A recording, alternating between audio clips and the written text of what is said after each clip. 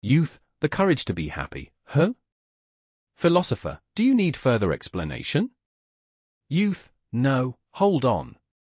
This is getting confusing. First, you tell me that the world is a simple place. That it only seems complicated because of me, and that my subjective view is making it that way. And also, that life just seems complicated because I make it complicated, all of which is what makes it difficult for me to live happily. Then, you say that one should take the stance of teleology, as opposed to Freudian etiology, that one must not search for causes in one's past, and should deny trauma. You say that people act to achieve some goal or other, instead of being creatures who are driven by causes in their past. Right? Philosopher, yes. Youth, furthermore, as the major premise of teleology, you say that people can change. That people are always selecting their own lifestyles. Philosopher, that is correct.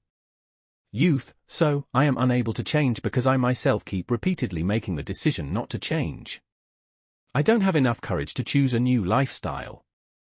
In other words, I do not have enough courage to be happy, and that's why I'm unhappy. Have I got anything wrong? Philosopher, no, you haven't.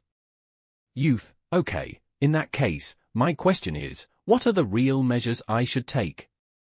What do I need to do to change my life? You haven't explained all that yet. Philosopher, you are right. What you should do now is make a decision to stop your current lifestyle. For instance, earlier you said, if only I could be someone like Y, I'd be happy.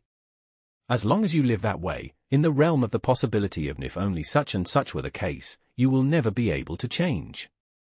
Because saying if only I could be like Y is an excuse to yourself for not changing. Youth, an excuse not to change?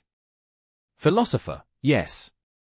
I have a young friend who dreams of becoming a novelist, but who never seems to be able to complete his work. According to him, his job keeps him too busy, and he can never find enough time to write novels, and that's why he can't complete work and enter it for writing awards. But is that the real reason? No. It's actually that he wants to leave the possibility of I can do it if I try open, by not committing to anything. He doesn't want to expose his work to criticism, and he certainly doesn't want to face the reality that he might produce an inferior piece of writing and face rejection.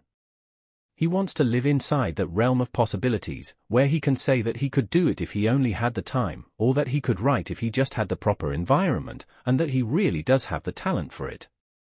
In another five or ten years, he will probably start using other excuses like I'm not young anymore, or I've got a family to think about now.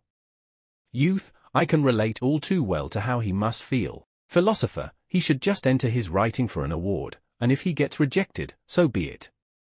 If he did, he might grow, or discover that he should pursue something different. Either way, he would be able to move on.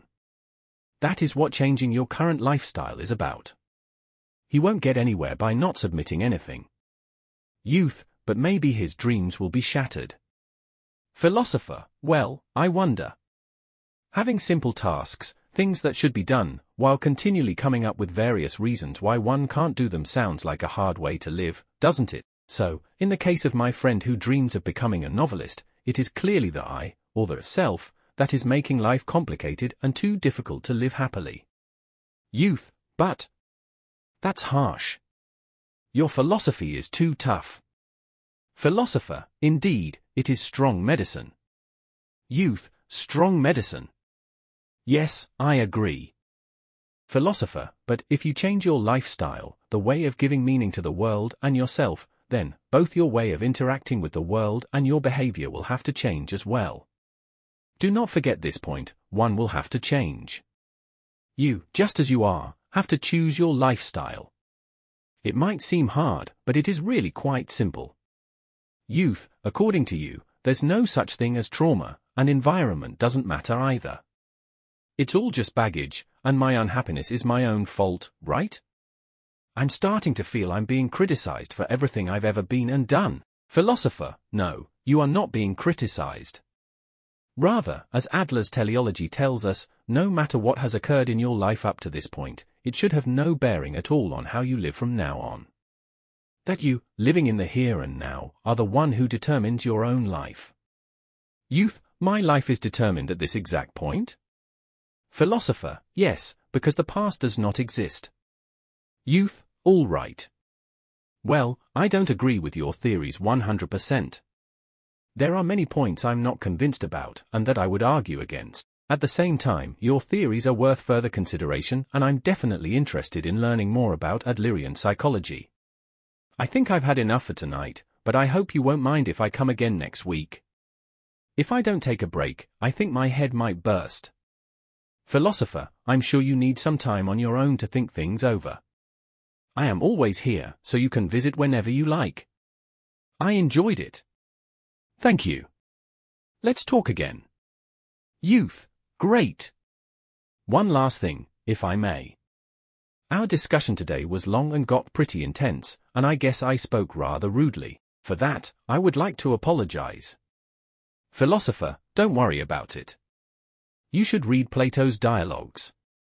The conduct and language of the disciples of Socrates are surprisingly loose. That's the way a dialogue is supposed to be.